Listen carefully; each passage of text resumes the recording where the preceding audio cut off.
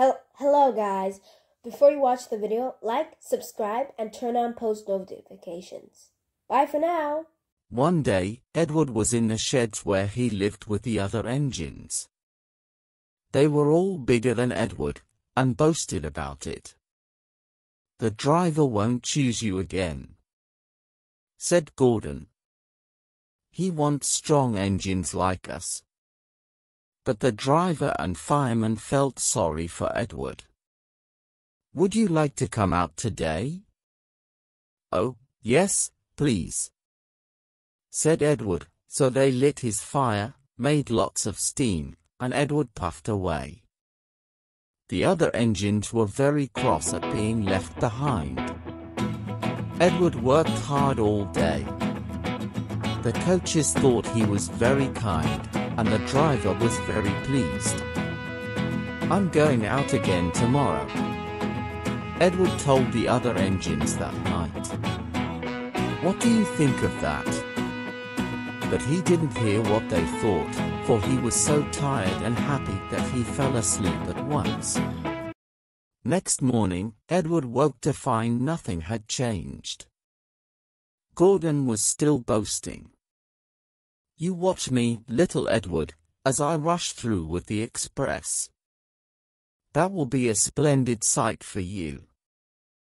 Goodbye, little Edward. Look out for me this afternoon. Oh?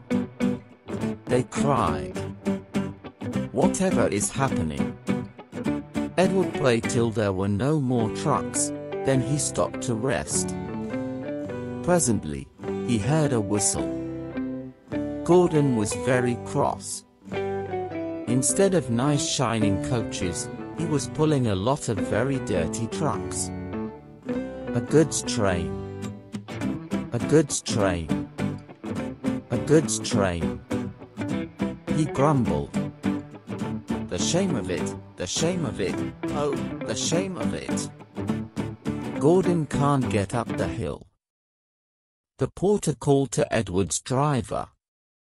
Will you take Edward and push him, please? They found Gordon halfway up and very cross. His driver and fireman were talking to him severely. You're not trying. I can't do it, said Gordon. The noisy trucks hold an engine back, so. Edward's driver came up. We've come to push. No use at all, said Gordon. You wait and see, replied Edward's driver. They brought the train back to the bottom of the hill. I'm ready, called Edward. No good, grumbled Gordon. They pulled and pushed as hard as they could. I can't do it, I can't do it, I can't do it, puffed Gordon. I will do it, I will do it, I will do it, puffed Edward. Edward pushed and puffed and puffed and pushed as hard as ever he could, and almost before he realized it, Gordon found himself at the top of the hill. I've done it. I've done it. I've done it. He said proudly. He forgot all about Edward and didn't wait to say, thank you. Edward was left out of breath and far behind. He ran on to the next station and there, he found that the driver and fireman were very pleased with him. The fireman gave him a nice long drink, and the driver said, I'll get out my paint tomorrow and give you a beautiful coat of blue with red stripes.